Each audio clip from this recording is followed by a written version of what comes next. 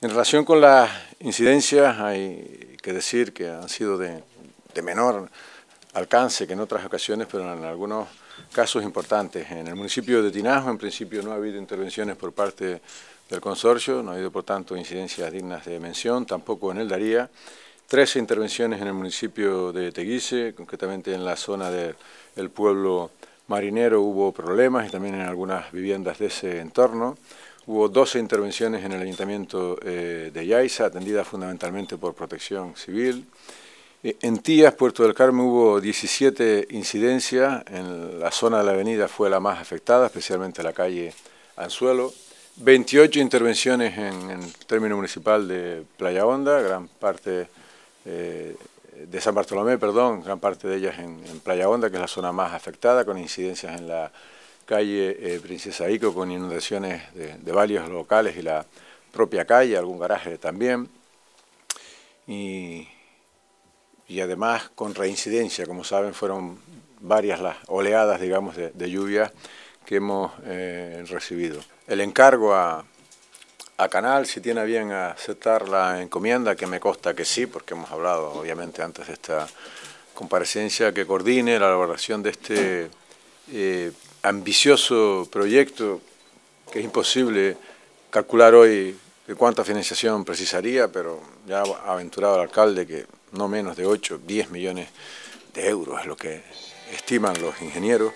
Eh, como ya hemos hecho en el pasado, don Manuel, en la medida de nuestras posibilidades faltaría más. El Cabildo pues arrimará el hombro en los próximos presupuestos también y, como no, en la búsqueda de recursos externos llámese gobierno de Canarias o incluso Estado, para abordar una solución definitiva, lo digo siempre entre comillas, porque eh, eh, definitivo no hay nunca nada y ante una avalancha de, lluvia en pocas horas, seguramente hasta la ciudad mejor preparada del mundo pues, sufriría eh, problemas, decía, claro que pueden contar con el Cabildo. Pero que quede claro que esos son fondos propios del ayuntamiento y que además que quede claro que el ayuntamiento en este momento tiene capacidad, porque ha mejorado muchísimo su finanza, capacidad para endeudarse a corto y medio plazo para hacer una plurianualidad.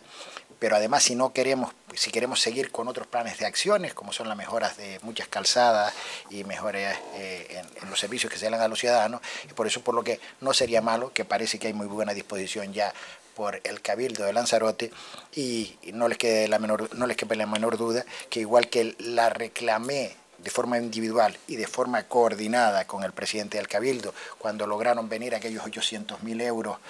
eh, eh, el año pasado que, han sido eh, de las mejores inversiones, entiendo que han podido llegar a Recife, de igual modo, y si cabe, con más ímpetu vamos a reclamarle al gobierno de Canarias que se moje o que evite que nos mojemos en Arrecife. Y no quiero acabar, de verdad, en, los agradecimientos con la acción perfectamente coordinada